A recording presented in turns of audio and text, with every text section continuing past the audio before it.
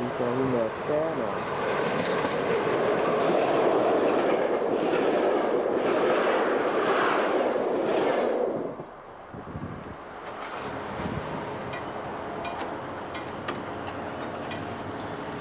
Muss die Technik hier auch noch aufnehmen.